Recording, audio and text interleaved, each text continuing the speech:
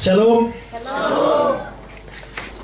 Puji nama Tuhan, kita boleh ada di sini di dalam acara KPI hari yang kedua. Dan terima kasih juga untuk Badan Pengurus Persatuan Doa yang telah beri kesempatan saya untuk menyampaikan firman Tuhan pada saudara-saudara pada malam hari ini. Dan saudara-saudara kalau kita lihat tema kita di belakang ini adalah bersukacitalah senantiasa tetaplah berdoa. Dan saya ingin mengajak kita untuk membaca teks yang di mana ayat ini, dua ayat ini ada. Mari kita semua buka Alkitab kita dari 1 Tesalonika pasal yang kelima, mulai ayat yang ke-12. 1 Tesalonika 5, mulai ayat yang ke-12 dan seterusnya. Silakan yang bawa kitab suci boleh buka, yang bawa HP suci silakan buka. Ya, karena sekarang bukan hanya ada kitab suci, HP suci juga ada. Ya, kalau ada komputer suci, nah bisa tampilkan. 1 Tesalonika pasal 5 mulai ayat 12 dan seterusnya. Kami minta kepadamu saudara-saudara supaya kamu menghormati mereka yang bekerja keras di antara kamu, yang memimpin kamu dalam Tuhan, dan yang menegur kamu, dan supaya kamu sungguh-sungguh menjunjung mereka dalam kasih karena pekerjaan mereka. Hiduplah selalu dalam damai seorang dengan yang lain. Kami juga menasihati kamu, saudara-saudara, tegurlah mereka yang hidup dengan tidak tertib, hiburlah mereka yang tawar hati, belalah mereka yang lemah, sabarlah terhadap semua, sabarlah terhadap semua orang. Perhatikanlah supaya jangan ada orang yang membalas jahat dengan jahat, tetapi usahakanlah senantiasa yang usahakanlah senantiasa yang baik terhadap kamu masing-masing dan terhadap semua orang bersukacitalah senantiasa.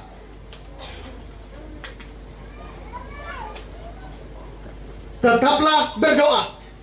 Mengucaplah syukur dalam segala hal. Sebab itulah yang dikehendaki Allah di dalam Kristus Yesus bagi kamu. Janganlah padamkan roh. Dan janganlah anggap rendah nubuat-nubuat. Ujilah segala sesuatu. Dan peganglah yang baik. Jauhkanlah darimu segala jenis kejahatan. Semoga Allah damai sejahtera menguduskan kamu seluruhnya. Dan semoga roh, jiwa, dan tubuhmu terpelihara sempurna dengan tak bercacat pada kedatangan Yesus Kristus Tuhan kita. Dia yang memanggil kamu adalah setia. Dia juga akan menggenapinya. Saudara-saudara yang saya kasih di dalam Tuhan Yesus, ini adalah surat Rasul Paulus kepada jemaat di Tesalonika. Dan khusus di dalam surat yang pertama kepada jemaat Tesalonika ini, Rasul Paulus mengkonsentrasikan pembahasannya tentang kedatangan Tuhan Yesus kali yang kedua. Dan karena itu, dia memberikan nasihat-nasihat kepada jemaat Tuhan bagaimana mereka bisa mempersiapkan diri menjelang kedatangan Tuhan Yesus yang kedua kali. Saudara-saudara, ada dua istilah yang harus kita bedakan. Istilah pertama adalah akhir zaman. Tapi Alkitab tidak hanya bicara istilah akhir zaman. Alkitab juga bicara istilah yang lain. Dua kata sama hanya terbalik, yaitu zaman akhir. Saudara-saudara, apa bedanya akhir zaman dan zaman akhir? Apa beda akhir zaman dan zaman akhir? Dengarkan saya omong ini.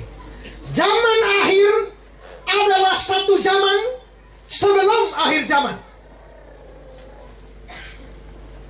Dan akhir zaman itu adalah akhir dari zaman akhir. Tuhan Allah mencipta dunia ini mulai di kitab kejadian di sini katakanlah ini awal zaman. Tapi dunia ini akan selesai atau kiamat di sini ini namanya akhir zaman. Kalau begitu saya tanya saudara-saudara, apakah sekarang kita sudah akhir zaman atau belum? Belum. Kita belum akhir zaman. Kapan Tuhan Yesus datang dulu baru akhir zaman. Kalau begitu kita sekarang belum hidup di akhir zaman. Tapi kita hidup satu zaman sebelum akhir zaman. Namanya zaman akhir. Nah, karena itu saudara-saudara, Paulus sementara bicara supaya jemaat di Tesalonika yang hidup di zaman akhir boleh persiapkan diri menyambut kedatangan Tuhan Yesus. Kenapa? Karena Tuhan Yesus datang itu kan tidak diketahui kapan. Kalau kita tahu Tuhan Yesus datang tahun 2020, ya gampang saja sekarang tidak usah bertobat dulu Bapak ya. Tunggu pas. Kalau Tuhan Yesus datang 1 Januari 2020, tunggu bertobat 31 Desember 2019. Tapi Tuhan Yesus tidak beritahu kapan dia datang. Berapa tahun yang lalu ada satu orang yang namanya Romo Pendeta Paulus Tribrata STH MA MTH panjang sekali namanya dia datang dia dari Jogja lalu dia datang seminar di Aula Eltari dan disponsori oleh beberapa persatuan doa lalu saya ikut seminar ini. Dan di dalam seminar ini Bapak tua kali bagi tambah kurang segala macam. Lalu akhirnya kesimpulannya Tuhan Yesus akan datang kembali bulan Mei tahun 2029 lalu saya bantah dia di situ. Saya debat dengan dia di situ. Saya bilang Matius 24 tentang hari dan saat itu tidak ada seorang pun tahu. Dia bilang memang hari dan saat tidak ada yang tahu, tapi bulan tapi bulan dan tahun bisa. Saya habisi semua argumentasinya dan saya menulis sebuah buku. Benarkah Tuhan Yesus akan datang tahun bulan Mei 2029? Dan silakannya saudara mereka membuat sudah membuat panitia penyambutan kedatangan Tuhan Yesus yang ke-2029 di Jogja dan saya tahu persis sejumlah orang Kristen yang saya kenal di Kupang sini anggota persekutuan doa ikut ke Jogja menjadi panitia penyambutan kedatangan Tuhan Yesus ke-2029 Saudara kalau memang Tuhan kita tahu hari kedatangan Tuhan kita tidak perlu persiapan. Tunggu seperti saya bilang. 1 Januari 2020. Tunggu 31 Desember. Baru bertobat, baru percaya Yesus. Kan selesai. Seorang teman saya menceritakan begini. Pada waktu dia kuliah teologi. Dosen kuliah berbahasa Ibrani. Kuliah bahasa Ibrani. Dosen ini waktu awal sekolah. Dia bilang begini. Kuliah ini tidak ada ujian akhir. Tidak ada ujian tengah semester. Tiap saat bisa ujian. Jadi mungkin minggu depan ujian. Tapi saya tidak janji ujian atau tidak. Pokoknya siap-siap saja. Maka saudara, hari ini ini dosen masuk. Besok hari ini dosen mau masuk kemarinnya semua mahasiswa takut. Wih jangan-jangan ujian. Mereka belajar, belajar, belajar sampai habis belajar. Dia datang, dia ngajar-ngajar. Dia bilang selamat siang. Tidak ada ujian. Minggu berikutnya masuk lagi teman-teman enggak. Wih jangan sampai besok ujian. Kalau tidak belajar, tahu-tahu ujian bagaimana? Tapi kalau belajar, belajar, belajar, tapi tidak ujian bagaimana? Tidak usah belajar saja. Tapi kalau ujian, maka mereka belajar lagi, belajar lagi, datang lagi, dia tidak ujian lagi. Nah, tapi saudara, gara-gara seperti itu, murid-muridnya tiap minggu belajar. Karena tiap minggu bisa ujian. Gara-gara belajar tiap minggu, mereka semua jadi pintar bahasa Ibrani. Begitu kan? Mengapa mereka bisa siap setiap saat? Karena waktu ujian tidak pasti. Begitu juga saudara-saudara, Tuhan Yesus datang tidak pasti kapan. Dan karena itu, maka kita bisa siap setiap saat. Karena besok dia bisa datang, 10 tahun dia bisa datang, atau 100 tahun, kita tidak tahu. Maka saudara-saudara, Paulus menasihatkan jemaat Tesalonika supaya mereka mempersiapkan diri menjelang kedatangan Tuhan Yesus itu. Dan karena itu saudara, konteks dari surat 1 Tesalonika ini bicara kedatangan Tuhan. Kalau saudara lihat di Alkitab saudara, mulai pasal 4 ayat yang ke-13, di situ Paulus bicara tentang apa? Tentang hari kedatangan Tuhan. Lalu mulai pasal yang kelima, dia mulai bicara juga tentang berjaga-jaga menjelang kedatangan Tuhan. Dan setelah itu, dia memberikan nasihat. Dan sekarang saudara lihat ayat yang kita baca tadi terakhir. Ayat yang kita baca tadi di dalam ayat 23, ayat yang ke 23, semoga Allah damai sejahtera menguduskan kamu seluruhnya dan semoga roh, jiwa dan tubuhmu terpelihara sempurna dengan tak bercacat pada kedatangan Yesus Kristus Tuhan kita. Jadi saudara-saudara, mulai pasal 4 dia bicara kedatangan Tuhan. Pasal yang kelima, nasihat berjaga-jaga. Pasal yang kelima ayat terakhir dia bilang semoga tubuh jiwa rohmu sempurna pada kedatangan Tuhan. Berarti saudara-saudara, ayat yang kita baca tadi 1 Tesalonika 5 mulai ayat 12, 13, 14, 15, 16, 17, 18, 19, 20, 21, 22 semuanya adalah nasihat-nasihat supaya gereja Tuhan, supaya jemaat Tuhan boleh mempersiapkan diri menjelang kedatangan Tuhan. Karena itu kalau di sini katakan bersuka cita senantiasa. Kenapa bersuka cita senantiasa? Karena Tuhan hampir datang. Tuhan Yesus akan datang. Tetaplah berdoa. Kenapa kita mesti tetap berdoa? Karena Tuhan Yesus akan datang. Maka saudara, semua nasihat yang diberikan di sini itu dalam konteks kedatangan Tuhan Yesus yang kedua kali. Maka saudara-saudara, dalam teks yang kita baca, Paulus memberikan begitu banyak nasihat kepada jemaat. Misalnya di dalam ayat yang ke-12 dan ayat 13, dia bilang, hormatilah hamba-hamba Tuhan.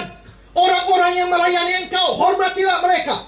Lalu di ayat yang ke-13 sampai 14, Paulus menasihatkan supaya mereka hidup dalam damai, saling menasihati, saling menegur, saling menghibur, sabar, dan lain-lain. Lalu ayat yang ke-15 dia bilang, jangan balas jahat dengan jahat.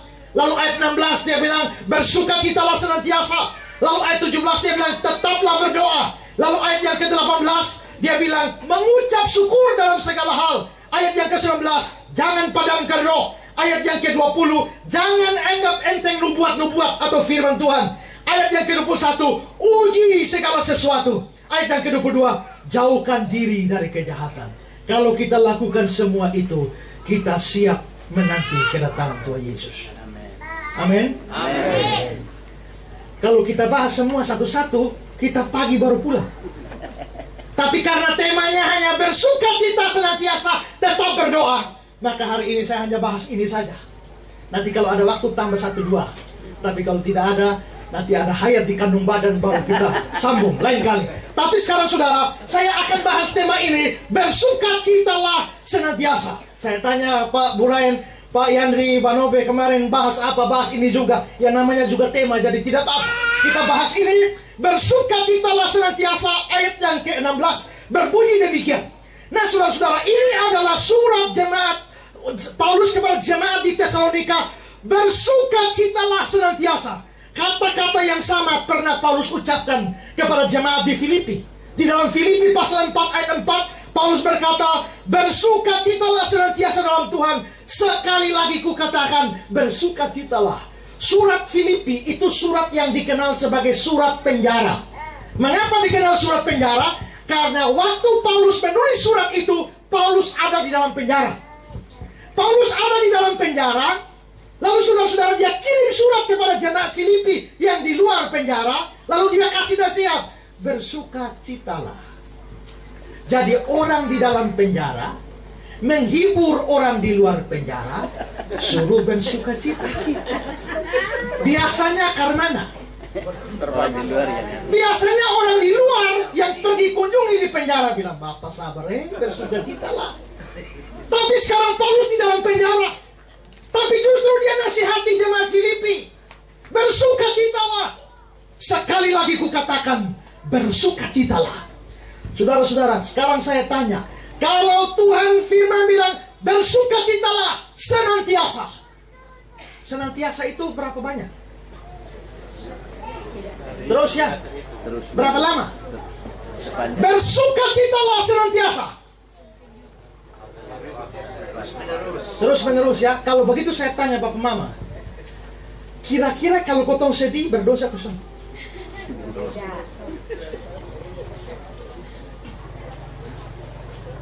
Bersuka citalah senantiasa. Kalau ketong berduka cita, dosa kusam. Halo?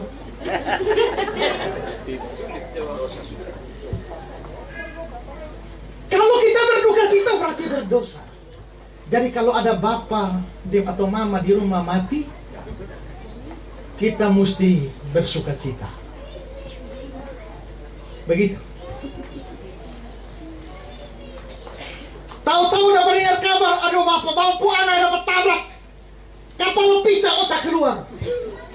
Bersuka cita. Begitu.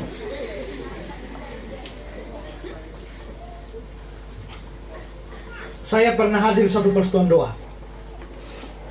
Lalu ketua persatuan doanya bangun. Lalu dia bilang, saudara-saudara, hari ini saya bersuka cita. Kenapa? Tadi sore saya dengar kabar dari Alor. Bapak saya sudah mati. Puji Tuhan. Mari kita semua bangkit berdiri menyanyi. Yesus kekasih jiwaku. Maka dia menyanyi Yesus kekasih jiwaku. Puji Tuhan Bapak saya sudah mati. Saya waktu saya lihat ini orang, saya bilang gila ini orang. Maka saudara-saudara di sini persoalannya adalah kalau memang itu gila, mengapa ini ayat dalam bersuka cita senantiasa? Kalau ayat berkata sukacita senantiasa, berarti tidak boleh berduka cita. Kalau berduka cita berdosa.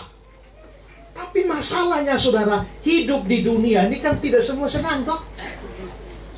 Ada susah, ada sedih, ya kan? Ada janda yang anaknya mati. Karena anaknya mati dia susah sekali, dia stres sekali, frustrasi sekali. Dia tidak makan tiap hari sedih. Lalu dia dengar kabar ada satu guru di sana yang bisa bangkitkan orang mati.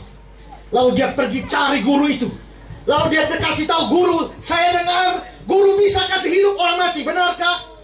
Guru bilang iya bisa. Cuma berapa lama? Satu tahun, gampang saya kasih hidup dia kembali. Tapi ada syarat. Syaratnya, lu pulang ke kampung, lu tolong cari biji jagung, bawa satu biji saja datang di sini. Tapi biji jagung itu harus berasal dari rumah yang tidak pernah susah. Maka Bapak tua pergi dari Roslau, permisi, ada jagung kok ada, pernah susah kok pernah Bapak Mama. Pindah lagi di sebelah, ada jagung kok Bapak ada, pernah susah ada banyak Bapak Mama. Oh pindah lagi di sebelah, pindah lagi di sebelah, seluruh isi kampung ada jagung banyak. Tapi semua pernah susah. Lalu dia kembali dia bilang guru, jagung banyak tapi semua susah. Lalu guru bilang kalau begitu, lu pulang kembali terima lu punya anak punya kematian sebagai bagian dari hidup. Itu hidup memang begitu. Jadi saudara-saudara, hidup itu tidak hanya enak, hidup itu tidak hanya senang, hidup itu tidak hanya yang bagus-bagus, tapi hidup itu juga penderitaan. Apalagi sejak manusia jatuh ke dalam dosa, penderitaan itu masuk ke dalam dunia ini. Tuhan Yesus saja menderita. Apalagi kita orang berdosa. Nah saudara-saudara, kalau begitu saudara-saudara, bersuka cita senantiasa.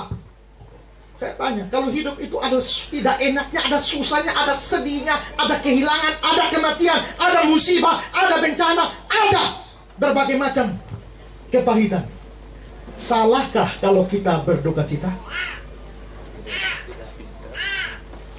Salah atau tidak? Saya tanya saudara, Tuhan Yesus sendiri pernah sedih atau tidak? Kapan? Waktu Lazarus meninggal, Tuhan Yesus pergi, lalu dia menangis. Berarti Tuhan Yesus tidak lakukan bersuka cita senantiasa. Begitu.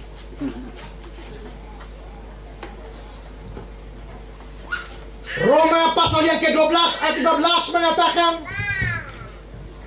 Bersuka citalah dengan orang yang bersuka cita. Menangislah dengan orang yang menangis. Sedihlah dengan orang yang sedih. Susahlah bersama-sama dengan orang yang susah. Menderitalah bersama-sama dengan orang yang menderita. Makanya kalau ada orang mati kita bilang Turut berduka cita kalau kita turut berduka cita, bagaimana kita melakukan firman Tuhan bersuka cita senantiasa? Ah, ini masalah. Ya. Ini ayat bilang bersuka cita senantiasa, tapi Tuhan Yesus juga berduka cita. Dan rasanya wajar kalau kita berduka cita.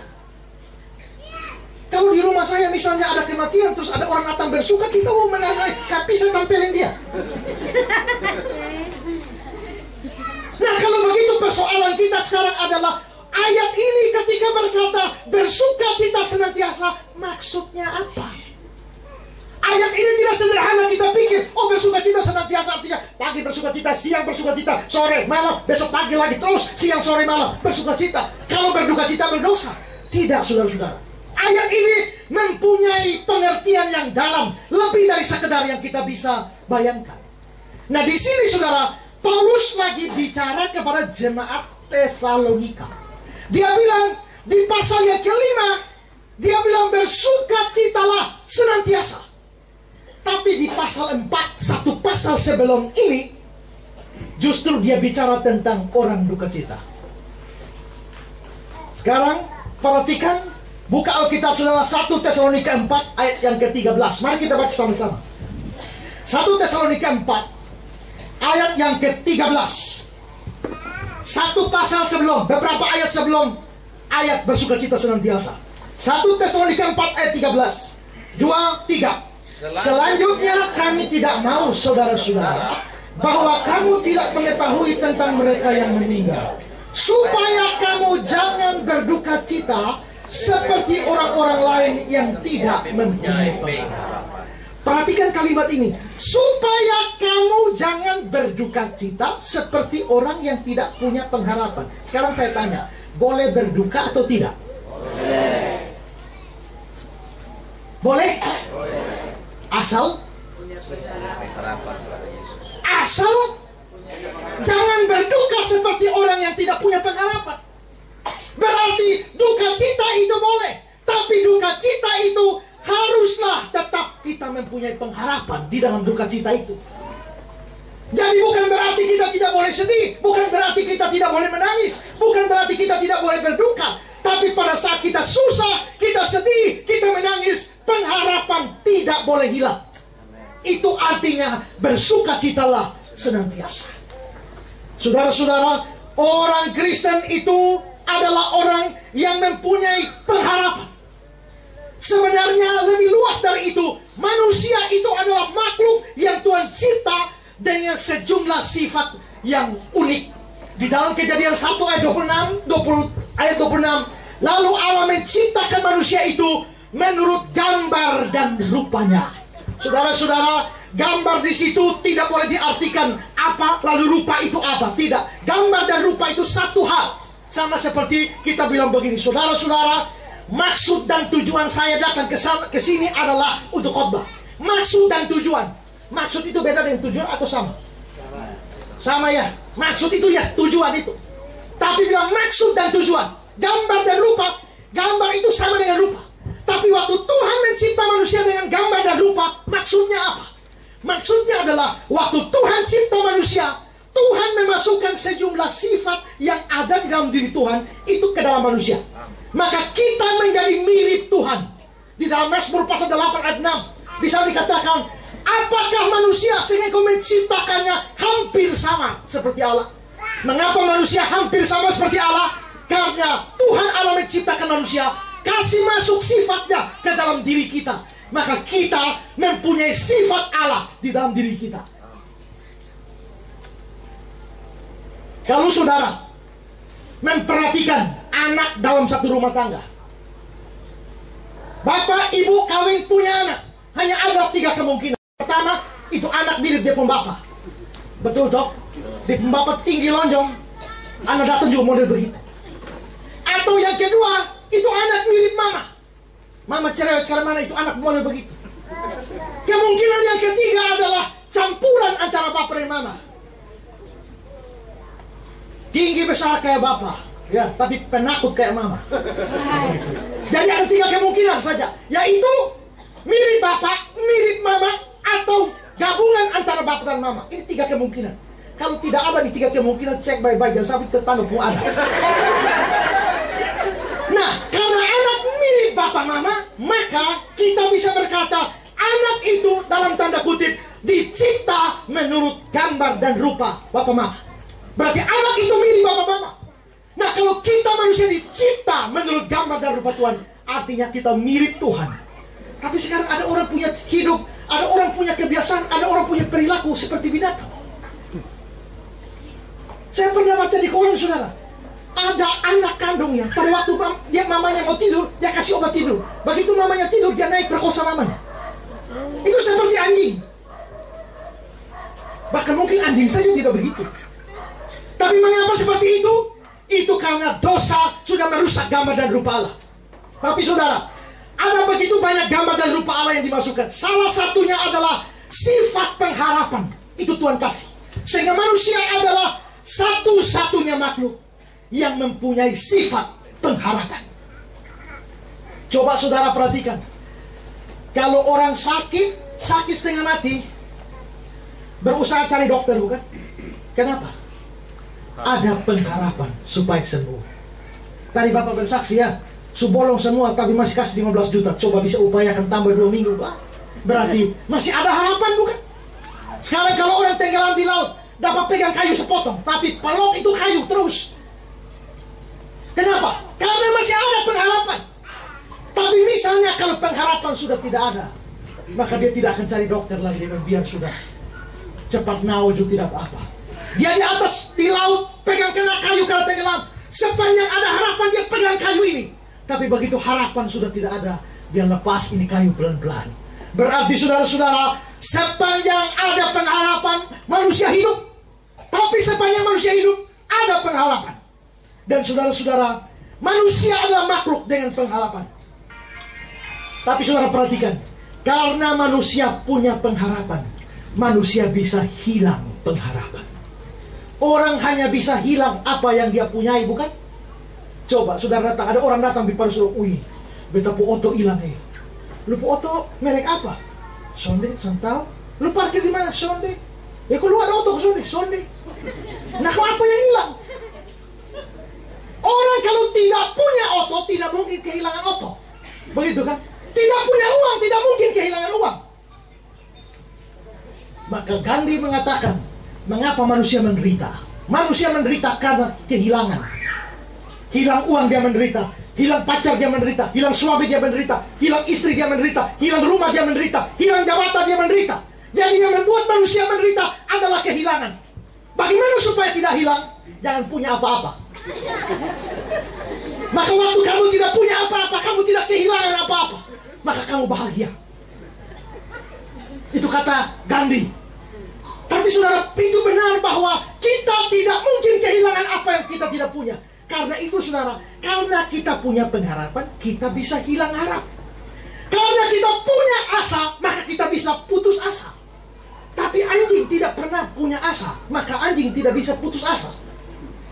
Kambing tidak punya pengharapan, maka kambing tidak pernah putus pengharapan. Coba pernah baca di koran, ada kambing gantung diri karena putus cinta. Tidak ada, ya kan? Hanya ada di manusia. Pernah baca kucing minum baygon karena pintar cinta ditolak? Tidak pernah. Mengapa? Karena kucing, anjing, babi, dan sebagainya tidak punya pengharapan. Tapi manusia ada. Manusia bisa gantung diri. Manusia bisa minum baygon. Karena apa? Karena putus pengharapan. Itu menunjukkan manusia adalah makhluk yang berpengharapan. Nah, karena itu dikatakan begini, bersuka cita senantiasa itu artinya bukan tidak bisa susah. Bersuka cita itu bukan berarti tidak bisa sedih. Bersuka cita itu bukan berarti tidak bisa menangis. Dalam hidup ini kita bisa susah, kita bisa menangis, kita bisa sedih, tapi pengharapan tidak boleh putus. Itu maksud firman Tuhan. Dan pengharapan kita yang dibicarakan Paulus tadi dalam pasal 4 ayat 13 dikatakan dikatakan jangan kamu berduka cita seperti orang yang tidak punya pengharapan. Lalu dia bicarakan selanjutnya karena kamu harus tahu mereka yang mati ini akan berkumpul bersama-sama dengan Tuhan di surga. Berarti saudara, Paulus mau katakan bahwa kita bisa bersuka cita senantiasa kalau kita punya pengharapan di dalam Tuhan. Nah saudara-saudara, kita orang Kristen adalah orang yang punya pengharapan. Sehingga biarpun hidup di dunia itu menderita, biarpun hidup di dunia itu sulit, tapi kita bisa kuat. Saudara, pengharapan itu simbolnya apa? Di dalam surat Ibrani, dia bilang, pengharapan itu seperti saut yang kuat. Saut itu apa? Jangkar. Jangkar. Saut itu sebenarnya bukan jangkar. Ya, sebenarnya itu yang besinya. Karena yang namanya jangkar itu sudah besi campur tali. Ya, tapi yang besinya itu itulah saut. Sekarang saudara, waktu kapal berlabuh, buang itu jangkar, saut tertancap di dalam. Saudara lihat sautnya atau tidak? Tidak. Berarti pengharapan itu tidak kelihatan. Ya kan? Saut itu tidak kelihatan. Tapi begitu gelombang datang, baru rasa. Kalau tidak ada sau, ini perahu sudah balik. Tapi begitu gelombang datang, baru kencangnya sau itu terasa. Pengharapan itu tidak kelihatan. Tapi begitu kita sulit, begitu kita menderita, begitu kita sakit, pengharapan itu yang membuat kita kuat. Karena itu saudara-saudara dikatakan pengharapan kita seperti sau yang kuat. Kita berharap kepada Tuhan. Dan saudara-saudara di dalam dunia ini atau dalam kehidupan kita begitu banyak kesulitan. Tapi kalau kita punya pengharapan dalam Tuhan, kita bisa bersuka cita senantiasa. Dan pengharapan kepada Tuhan ini boleh saya bagi dua. Pertama saudara, kita bisa berharap kepada Tuhan untuk hidup di dunia ini. Di dunia ini kita bisa tetap punya pengharapan kepada Tuhan. Karena Tuhan kita maha kuasa, Tuhan kita maha kasih, Tuhan kita maha besar. Dia bisa jadi pengharapan bagi kita. Seringkali manusia mengecewakan kita. Seringkali manusia melupakan kita. Seringkali manusia membuat kita sedih. Tapi Tuhan yang maha kuasa, dia dapat menjadi pengharapan bagi kita. Begitu saya selesai kuliah sekolah teologi S1, lalu ada orang datang dan tanya sama saya, mau kuliah S2 di Inggris atau tidak? Saya bilang mau. Setelah itu mau, mau di Inggris, saya tunggu, tunggu, tunggu, tunggu. Dia tidak pernah muncul-muncul lagi. Akhirnya saya kecewa. Lalu tiba-tiba datang orang datang lagi pada saya, mau kuliah S2 di Belanda. Saya bilang mau. Dia bilang ada sponsor. Oke boleh. Saya tunggu, tunggu, tunggu, tunggu. Tidak ada berita lagi. Lalu ada orang datang bilang, ada yang mau sponsori kamu kuliah S2 di Skotlandia. Sekarang masukkan KTP, saya kasih masuk. Ijazah-ijazah, kasih masuk. Surat keterangan dokter, surat dari kepolisian, segala macam saya kasih masuk. Untuk kuliah di Skotlandia. Satu hari saudara, orang yang janji saya mau kuliah di Skotlandia ini sakit. Lalu saya pergi doa, kasih dia di rumahnya. Iseng-iseng main-main di apa rak-raknya segala macam. Saya bongkar-bongkar. Kau tahu semua surat KTP saya ada di situ. Dia bilang so kirim ke Skotlandia. Ternyata masih ada di situ. Saya tahu ini orang kos. Jadi akhirnya saudara saya kuliah S2 juga dan saya tamat tapi kuliah di Fatveto sini. Jadi saudara janjinya tinggi di Inggris, di Belanda, di Skotlandia pada akhirnya di Fatveto. Saya kecewa dengan itu. Tapi saudara perhatikan baik-baik. Di dunia ini memang manusia bisa mengecewakan. Tapi Tuhan tidak bisa mengecewakan kita. Karena itu dia bisa jadi pengharapan kita di dunia ini. Tapi dengar satu hal ini. Alkitab Paulus sendiri dalam 1 Korintus pasal 15 dia mengatakan. Kalau pengharapan kita di dunia ini. Pengharapan kita hanya pada Kristus. Yang tidak mati, tidak bangkit, tidak sampai pada kekekalan. Sesungguhnya kita manusia paling malang di dunia ini. Mengapa? Untuk apa punya pengharapan pada Tuhan untuk hidup di dunia ini? Pengharapan Kristen yang paling besar adalah pengharapan setelah mati. Apa artinya seorang punya isi dunia, tapi dia kehilangan nyawanya? Itu kata Tuhan Yesus. Nyawa jauh lebih penting daripada apa pun juga. Boleh punya seluruh jabatan, boleh punya seluruh kekayaan, boleh punya seluruh dunia ini. Kalau mati, apa artinya semua itu? Ada orang miskin sengsara luar biasa. Mulai dari kecil sengsara luar biasa, hidup betul-betul menderita sampai tua. Dan sudah sakit jantung. Dan dokter bilang, orang seperti ini tidak boleh ada berita yang mengagetkan dia. Kalau dia kaget, dia pasti mati. Maka keluarga juga jaga omong apa-apa pun dia tidak boleh kaget. Tapi sudah tahu-tahu ada satu keberuntungan besar bahwa ternyata biarpun dia hidup dari kecil miskin tapi sebenarnya dia punya warisan.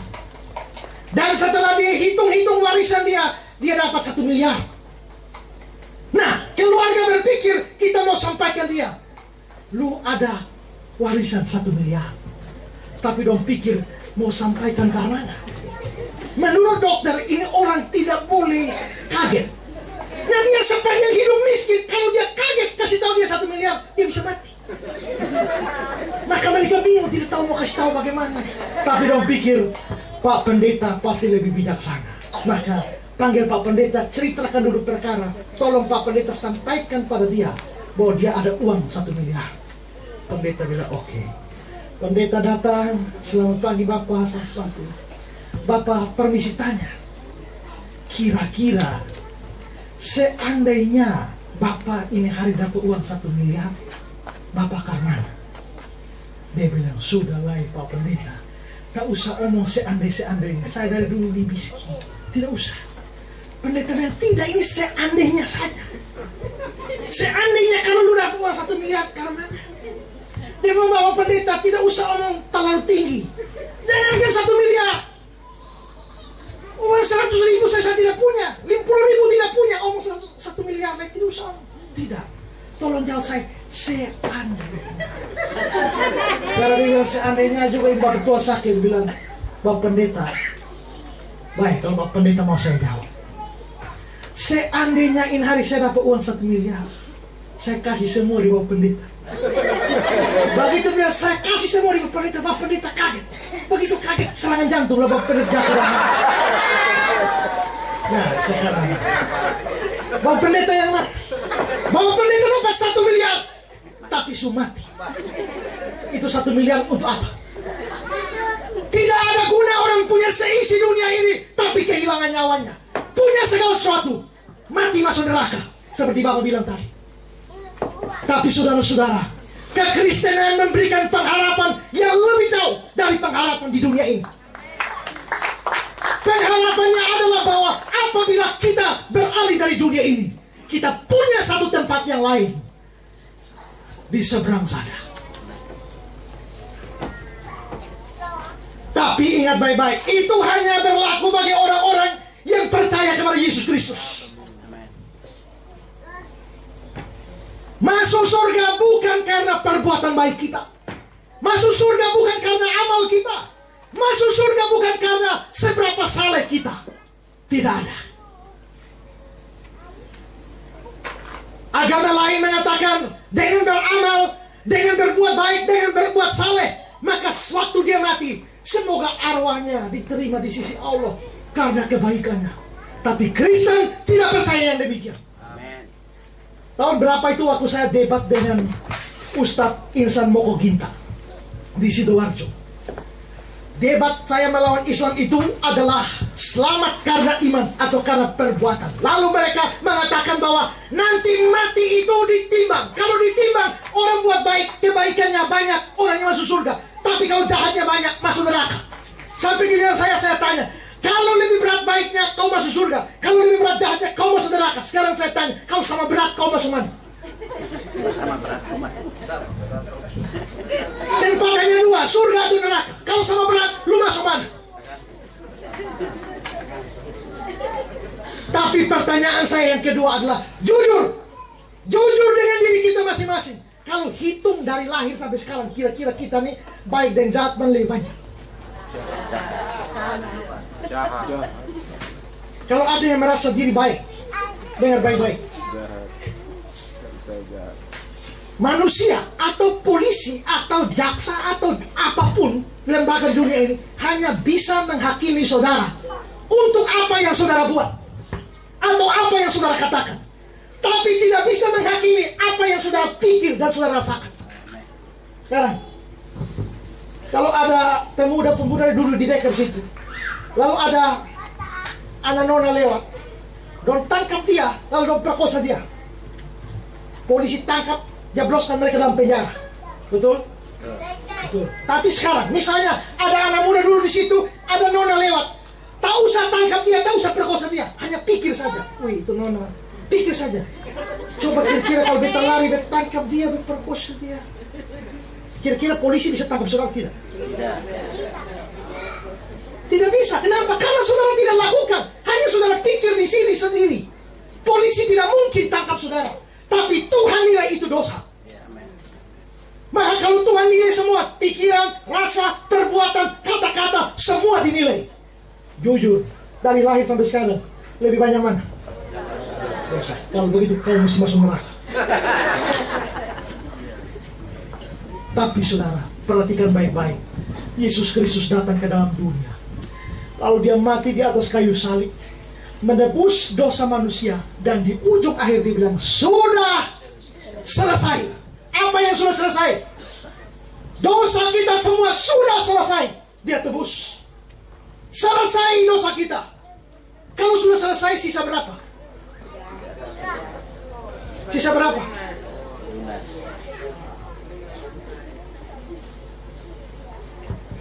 Sekarang ya, saya tanya saudara, kalau Tuhan ampuni dosa saudara, Tuhan ampuni dosa berapa banyak? Semua. Saudara katakan begini ya, saudara lahir tahun 1940. Saudara akan mati tahun 2050.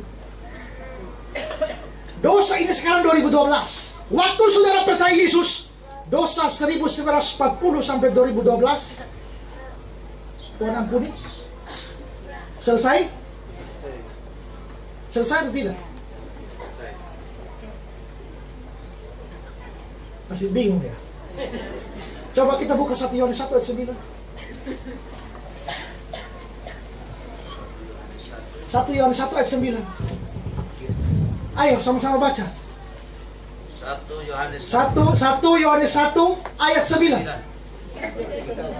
2 3. Jika kita mengaku dosa kita, maka ia adalah setia dan adil, sehingga ia akan mengampuni segala dosa kita dan menyucikan kita dari segala kejahatan. Berapa banyak dosa?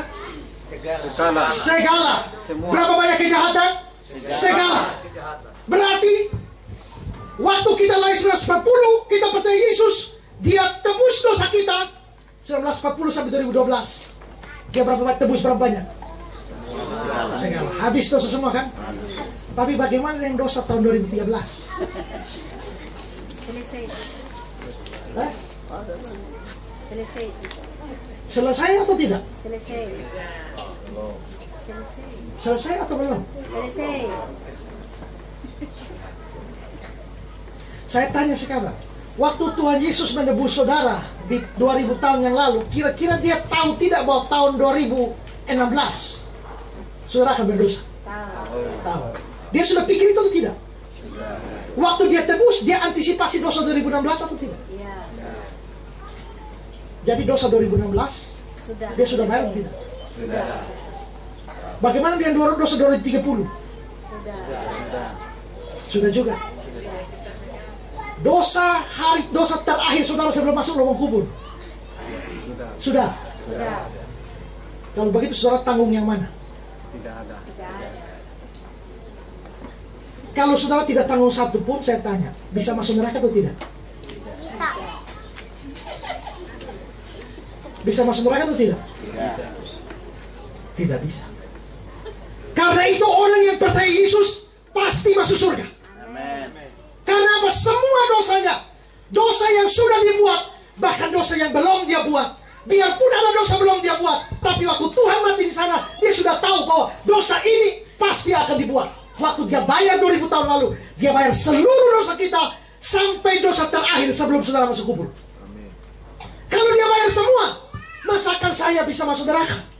Tidak bisa. Saya pasti akan masuk surga. Amin. Mati kapan pun, mati di mana pun, mati dalam keadaan bagaimanapun. Telah meninggal dunia dengan tenang. Aku telah meninggal dunia dengan meronta-ronta. Mau meninggal dunia dengan tenang atau dengan meronta-ronta. Saudara pasti saudara akan masuk surga. Kalau saudara punya Yesus sebagai juru selamat dosa saudara. Sekarang ini banyak orang hanya percaya Yesus. Hanya Yesus itu dokter saya yang menyembuhkan saya dari sakit. Tapi dengar baik-baik, kalau Yesus dokter saudara, tapi dia bukan juru selamat saudara. Saudara boleh sembuh dari sakit, tapi saudara mati tetap neraka. Yesus itu adalah penolong saya. Waktu saya susah, dia tolong saya. Waktu saya tidak ada uang, dia tolong saya. Kalau saudara punya Yesus hanya itu, tidak punya dia sebagai juru selamat, saudara mati akan tetap masuk neraka. Karena itu benar Yesus tabib, benar. Benar dia dokter, benar. Benar dia penolong saya, benar. Tapi dia harus juru selamat saya. Amin. Nah sekarang saudara, dengan begitu kalau kita sudah pasti keselamatan di dalam Yesus, pengharapan di dalam Yesus, maka apa pun kesulitan di dalam dunia ini tidak akan pernah menggoyahkan pengharapan ini sehingga saudara bisa bersuka cita senantiasa.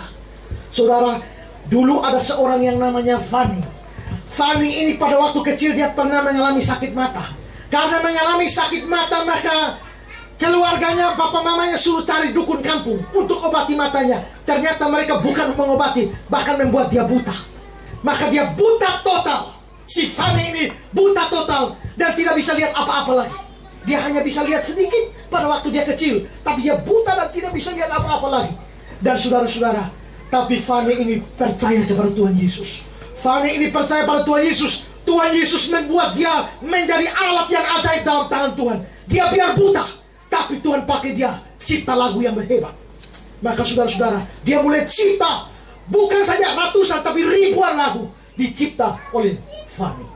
Salah satu ciptaan dari Fanny adalah Ku berbahagia yakin teguh Yesus abadi kepunyaanku. Dia buta tapi dia bilang ku berbahagia. Satu hari dalam perjalanan naik kereta Dia buta. Dia naik kereta tidak tahu mau turun di mana. Tidak tahu sampai terminal siapa tuntun dia tapi sepanjang dalam kereta dia tidak tahu turun di mana. Dia ambil kertas lalu dia tulis lagu. Sepanjang jalan Tuhan pimpin. Itu cukup bagiku. Apakah yang ku takut lagi kalau dia panduku? Maka saudara Fanny menjadi orang terkenal yaitu Fanny Crosby. Dan setelah dia menjadi terkenal, banyak orang datang cari dokter dari Amerika untuk mengobati dia. Dan saudara-saudara dokter bilang saya sanggup membuat dia kembali melihat. Dan begitu Fanny dipertemukan dengan dokter, dokter ini mengatakan, saya bisa buat kamu melihat. Fanny bilang, tidak, saya tidak mau. Kenapa kamu tidak mau melihat? Karena kalau saya tidak buta, belum tentu Tuhan pakai saya begini. Saya memang buta. Saya akan sampai mati buta. Dan saya mau pada waktu mata saya untuk pertama kali terbuka, yang saya lihat adalah wajah Tuhanku.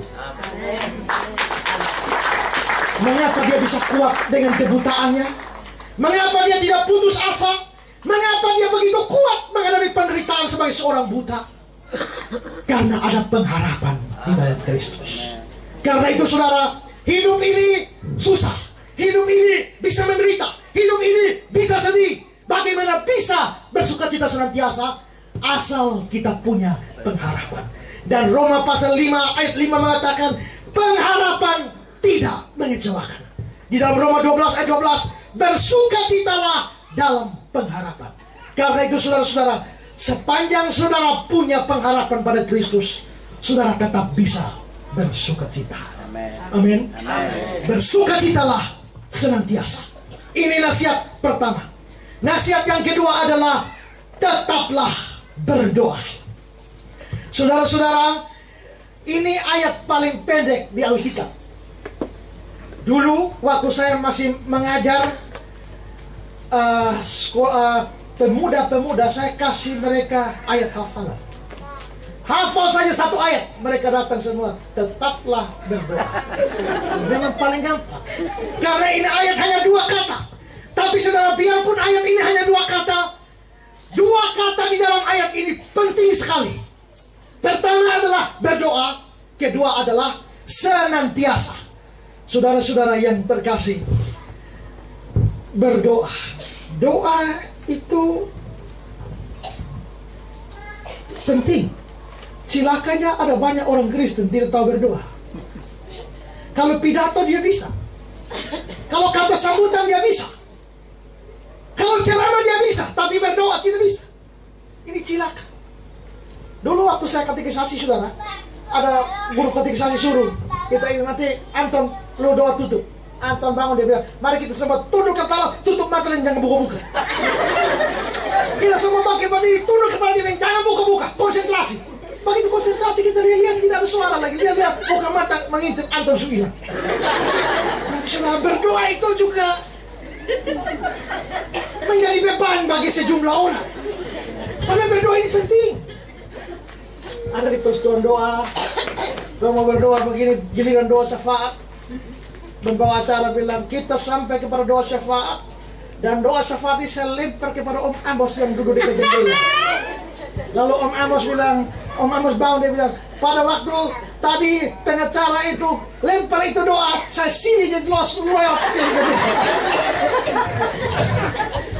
Ternyata berdoa itu sesuatu yang sulit kelihatannya bagi sejumlah orang. Padahal doa itu sebenarnya sesuatu yang mudah, sesuatu yang gampang. Doa itu tidak harus dengan formula-formula kalimat yang bikin puisi dan sebagainya. Tuhan ke dalam mahligai mahligai kesucian kami datang dengan lutut yang bertekuk dan hati yang terangkat. Wih luar biasa. Nada lagi. Tuhan tidak perlu begitu. Tuhan perlu adalah katakan isi hati kita. Ada anak kecil. Dia mama ajar berdoa. Dia belum tahu berdoa. Hanya tahu doa, doa makan sah. Bapak kami di surga ini makanan ada di depan. Sekarang saya mau makan amin. Itu saja doa yang mamanya baru aja. Satu hari ini anak bermain di lapangan. Sapi liar terlepas. Lari, mau tunggu ini anak. Tapi ini anak tahu mesti berdoa. Tapi dia tahu doa makan. Ini sapi lah datang dia tunggu. Bapak kami di surga berkati ini makanan saya mau makan. Amin. Begitu dia amin sapi sudah di sebelah sana. Oh saudara dia doa pasti salah. Katanya salah. Masa mau ditunggu oleh sapi dia berdoa makan? Tapi biarpun begitu Tuhan tahu maksud dia. Karena itu Tuhan selamatkan dia. Jadi saudara, doa itu tidak perlu dengan kata-kata yang muluk. Sedapat mungkin berdoa dengan kata-kata yang benar. Tapi kalau tidak bisa, yang penting hati kita.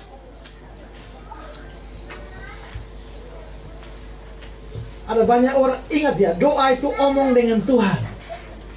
Kalau omong dengan Tuhan, omong biasa, tak usah hafal. Kalau hafal biasa payah. Tagai sedikit rusak semua. Kita biasa doa Bapak kami kita hafal. Karena itu waktu kita berdoa kita hafal doa Bapak kami. Tapi apakah kita memahami makna itu atau tidak? Banyak orang hafal tapi tidak mengerti.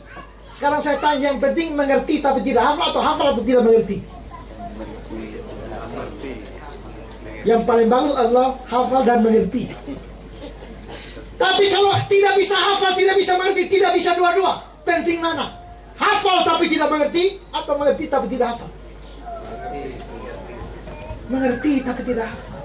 Itu tadi saya cerita tuh Ustadz Insan Moko Ginta itu. Dia bilang begini. Dia menulis satu buku judulnya Mustahil Orang Kristen Bisa Jawab. Dia mualaf. Mustahil orang Kristen bisa jawab dan dia kasih sayembara. Siapa saja orang Kristen bisa jawab satu pertanyaan 10 juta.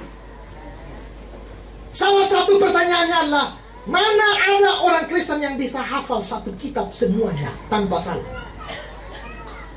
Dia bilang di dalam Islam anak-anak kecil sudah bisa hafal Al-Quran. Mana ada orang Kristen bisa hafal satu kitab sampai selesai? Tidak ada. Kalau ada, dia kasih 10 juta. Tapi saudara, menurut saya sih apa artinya hafal mereka itu anak-anak kecil Islam juga hafal segala macam itu bahasa Tuh tahu atau tidak artinya untuk apa hafal tapi tidak mengerti ketika Napoleon Bonaparte berkuasa di Perancis dia suka berkunjung lihat tentara-tentaranya dan tentara-tentara di Perancis ini tidak semua orang asli Perancis ada orang luar Perancis juga tapi biarpun mereka bukan asli Prancis, Napoleon sangat senang kalau mereka biarpun bukan orang Prancis asal tahu bahasa Prancis. Nah, kalau Napoleon datang pada tentara-tentara, dia bisa biasa ajukan tiga pertanyaan. Pertama, lu umur berapa? Mesti jawab pakai bahasa Prancis. Pertanyaan kedua, lu sudah berapa lama jadi tentara? Jawab pakai bahasa Prancis. Dan yang ketiga, waktu perang di sana dan perang di sini, lu ikut yang mana? Jawab pakai bahasa Prancis. Nah, satu hari Napoleon mau keluar. Maka ini pemimpin pasukan dibilang Napoleon mau keluar. Dia akan tanya kalian tiga pertanyaan. Satu, umur berapa? Dua, berapa lama jadi tentara? Tiga, waktu perang di kota A dan kota B, lu ikut mana? Sekarang saya tanya lu, lu umur berapa? 23. Nah, nanti Napoleon datang tanya pakai bahasa Prancis. Lu jawab 23 itu bahasa Prancisnya begini, hafal. Ya hafal 23. Pertanyaan kedua Napoleon akan tanya. Seberapa lama jadi tentara? Lu seberapa lama jadi tentara? Tiga tahun. Nah kalau begitu tiga tahun tuh bahasa Perancisnya begini. Nanti kalau dia tanya pertanyaan kedua, lu jawab tiga tahun. Pertanyaan ketiga Napoleon tanya, di kota A dan kota B lu ikut di mana perang? Lu ikut yang mana? Dia ikut dua-dua bapak. Kalau begitu ikut ikut dua-dua. Dua-dua itu jawabnya bahasa Perancis begitu. Nah, ingat, lu satu minggu ini lu hafal. Pertanyaan pertama adalah 23. Pertanyaan kedua, 3. Pertanyaan ketiga, 22. Dia hafal ini bahasa Perancis selama satu minggu. Tiba saatnya Napoleon datang. Napoleon kunjungi dia. Nah saudara, biasanya Napoleon itu tanya nomor satu, umur berapa, nomor dua, seberapa lama jadi tentara, ketiga, ikut perang di sini atau di sini. Ini kali Napoleon tahu kenapa dia balik. Napoleon tanya, lu seberapa lama jadi tentara? Dia pun jawaban pertama tadi, seberapa lama jadi tentara? Dia bilang 23. Napoleon ini orang masih muda, masih 23. Dia tentara. Lah memangnya lu berapa tahun? Lu umur berapa? Pertanyaan kedua dijawab. Napoleon jadi bingung. Napoleon, lu umur 20, lu umur 3 tahun sudah tentara 27. Hei, dengan baik-baik. Lu yang gila atau saya yang gila? Dia jawab pertanyaan ketiga. Dua-dua.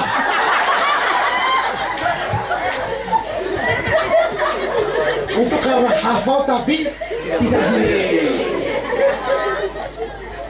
Jadi jadi orang Kristen itu utamakan pertama-tama kalau bisa hafal dan mengerti. Tapi kalau tidak bisa, mengerti dulu. Maka doa yang hafal. Kalau bisa hafal, mengerti. Tapi doa itu percakapan kita dengan Tuhan.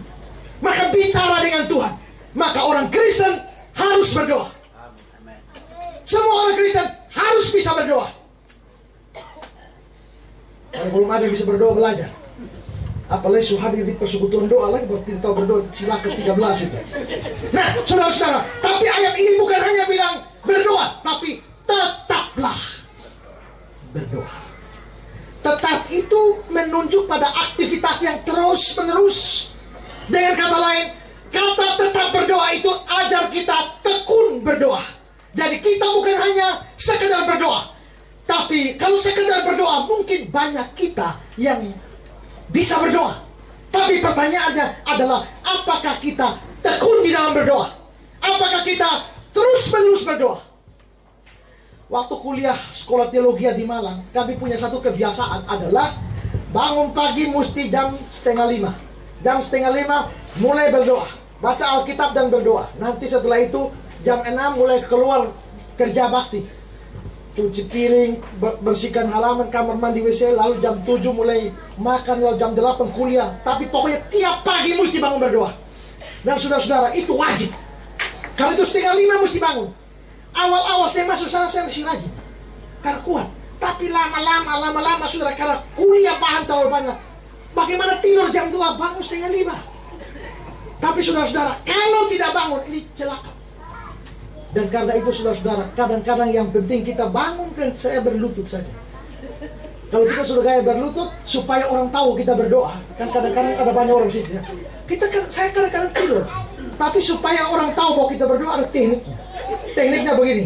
Sedikit kira-kira rasa-rasa 5 menit. Itu makan permen di punah. Jadi orang kira berdoa. Lama-lama saya tidak tahan lagi dan akhirnya saya tidur terus. Kalau saya tidur terus, maka Bapak Asrama dilaporkan Esra itu sering kali tidak berdoa.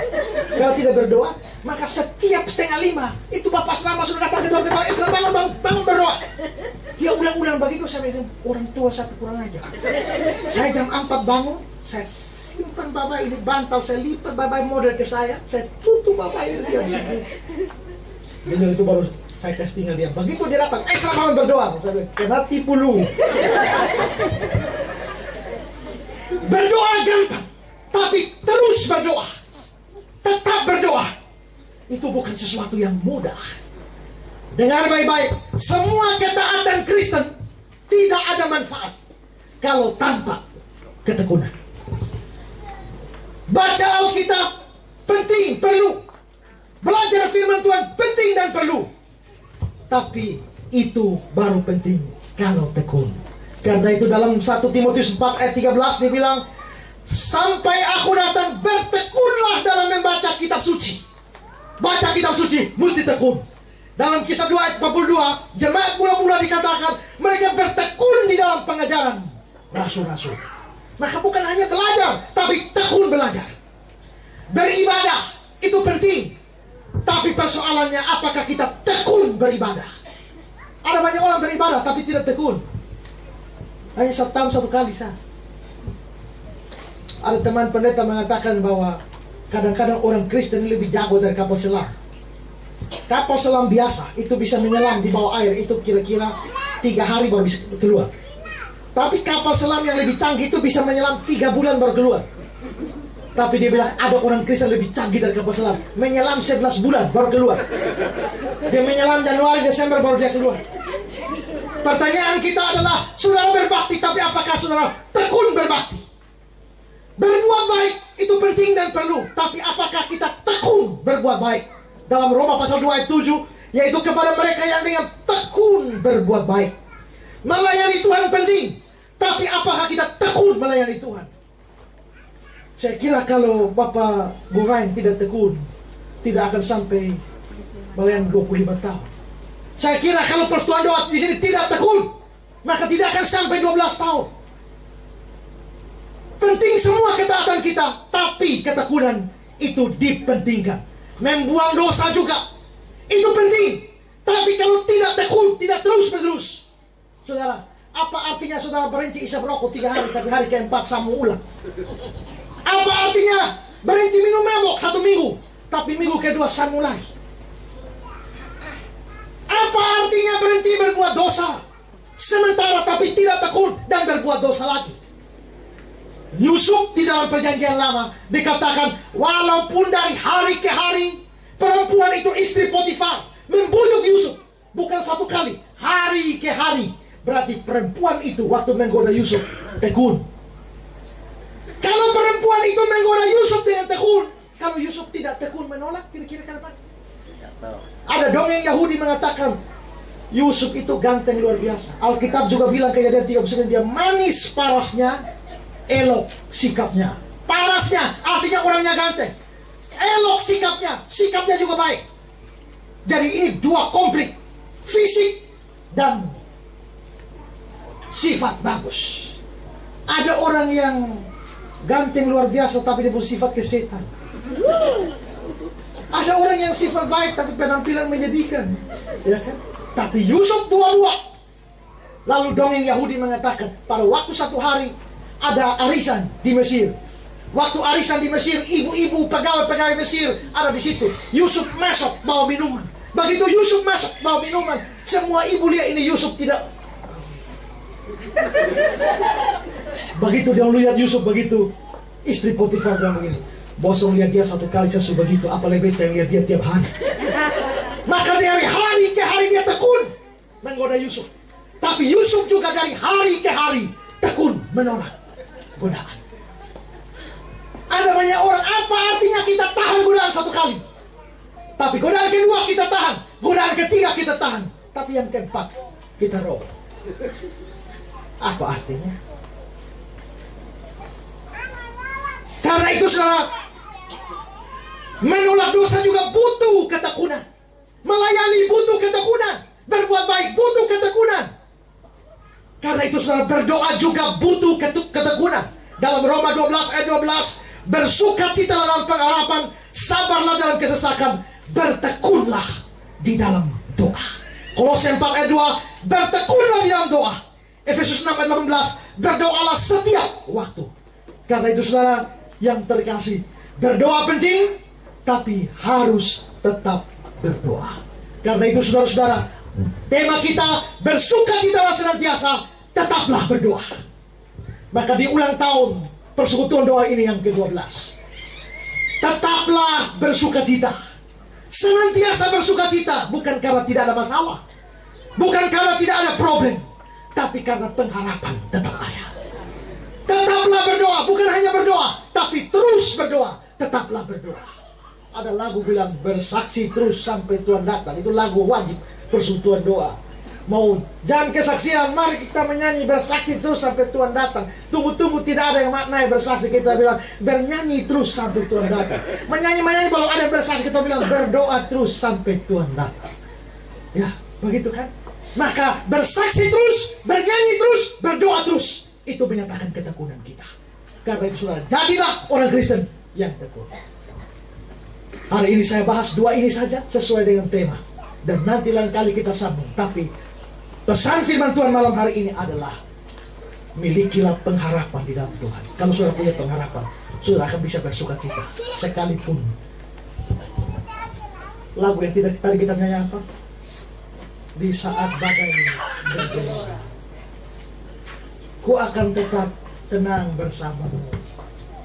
Kenapa? Karena ada pengharapan. Milikilah pengharapan dalam Tuhan Yesus. Dan milikilah pengharapan di dalam dia. Bukan hanya pengharapan dunia ini. Tapi pengharapan setelah beralih dari dunia ini. Dan itu hanya terjadi kalau saudara bisa terima dia sebagai juru selamat untuk dosa-dosa saudara. Saya senang dari kesaksian Bapak tadi. Pertama Bapak tua pikir dengan mengampuni istri mengampuni, anak mengampuni, terus selesai. Tapi setelah itu beliau sendiri, Tuhan mesti ampuni. Kalau manusia mengampuni, tidak ada artinya. Harus Tuhan mengampuni. Pengharapan kita akan lewat dari kematian bahkan sampai selama-lamanya kalau kita punya Kristus. Ingat baik-baik orang mati hari ini orang mati tidak pakai usia ya. Ada orang-orang yang kita liwi baik tua su tua su bau tanah tapi sudah mati-mati. Tapi ada orang muda-muda bau parfum tapi tahu tuyul lewat. Ada orang mati mendadak. Saya baca di internet ada satu orang mati konyol karena apa? Karena dia keluar dari rumah sore-sore di halaman rumah tiba-tiba satu barang dari langit hantam kepala dan mati memang. Dan dia tidak sempat tahu itu apa. Setelah orang selidiki, ternyata yang hantam kepala dia ini peristiwa nyata. Yang hantam kepala dia dari langit itu adalah kura-kura. Loh bagaimana kura-kura bisa jatuh dari langit? Setelah diselidiki ternyata burung elang tangkap kura-kura di laut. Bawa terbang tinggi tapi itu kura-kura terlalu gemuk. Sampai elang tidak kuat lagi. Elang terpaksa lepas. Pas elang lepas, bapak tua pun keluar. Dia mati. Saya baca di koran berapa saat ada orang jalan-jalan, tiba-tiba dia merasa kepalanya tertikam sesuatu dan jatuh mati. Setelah diteriksi, apa yang membuat dia mati? Pisau. Pisau apa yang turun dari langit? Ternyata diselidiki di apartemen atas sana. Orang lagi bersihkan rumah, taruh pisau di pinggir, tapi tiba-tiba ada badai datang. Pisau itu terbang di bawah angin, pas jatuh hantam di kepala, dan dia selesai. Saya tanya saudara, kalau saudara alami itu, saudara akan pergi ke mana? Ingat tempat cuma dua. Sekarang saya mau tutup khotbah ini dengan satu cerita. Su, betul-betul semua habis ini.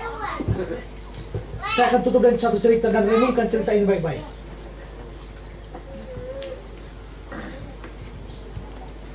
Ada dua buah pulau bertetangga.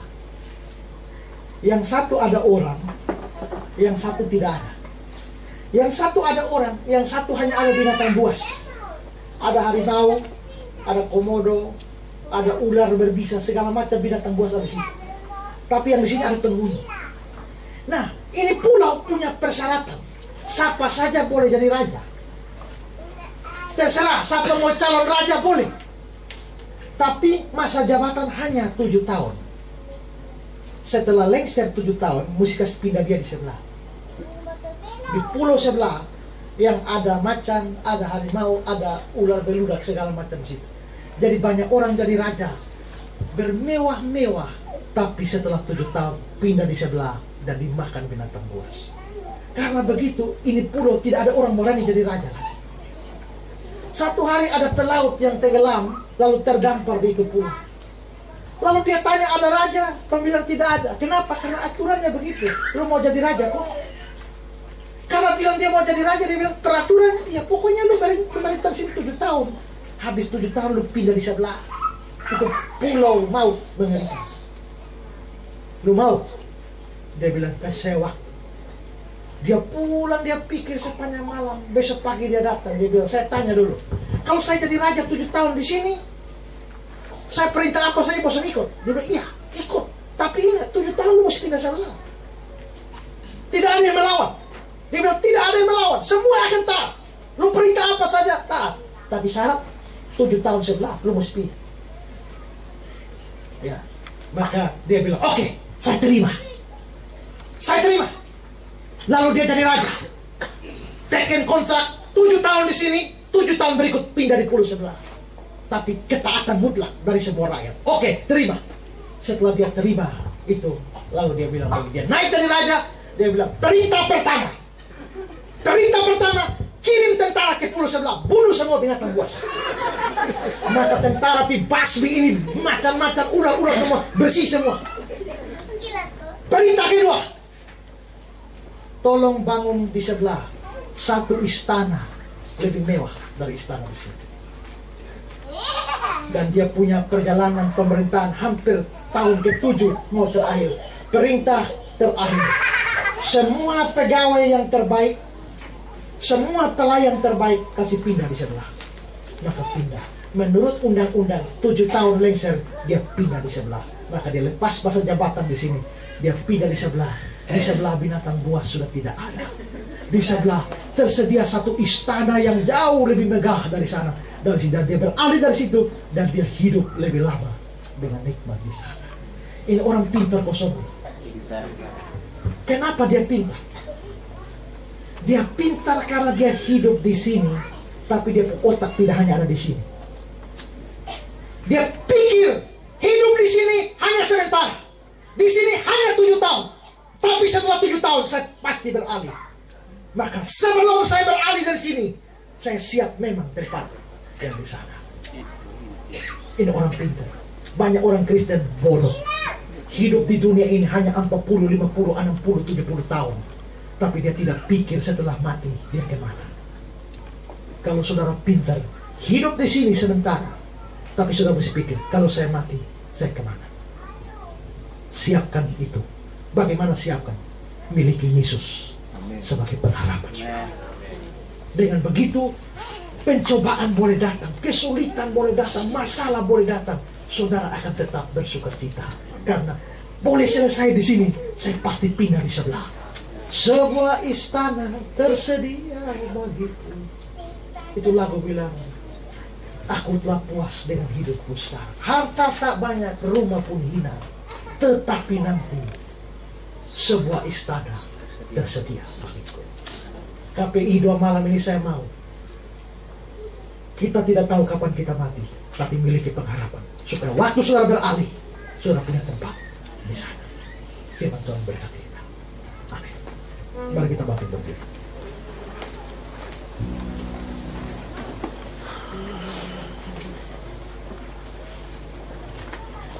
Saudara yang kekasih, saya tahu bahwa hidup ini punya pergumulan banyak. Ada masalah sakit penyakit, ada masalah rumah tangga, ada masalah pekerjaan, ada masalah-masalah yang terlampau rumit. Itu bisa menghilangkan sukacita kita, kecuali kita punya pengharapan di dalam Tuhan. Kalau ada pengharapan, saudara akan tetap kuat. Biarpun saudara sedih, biarpun saudara menderita, biarpun saudara begitu sulit, sepanjang ada pengharapan pada Tuhan, saudara akan kuat dan bersuka cita senantiasa. Tapi pengharapan kepada Tuhan ada dua. Pengharapan di dunia ini dan pengharapan setelah dunia ini. Jangan hanya punya pengharapan pada dia untuk hidup di sini. Karena hidup ini sementara. Tapi punya juga pengharapan pada dia untuk hidup yang kekal. Malam ini buka hati saudara pada Yesus. Yang belum pernah terima dia. Buka hati saudara untuk terima dia. Dia berjanji siapa pun yang percaya kepadanya akan diberikan hidup kekal. Sehingga kapan pun dan bagaimanapun ketika saudara beralih dari dunia ini, dia telah menyediakan Roma di surga saudara. Jangan kecewa, jangan putus pengharapan.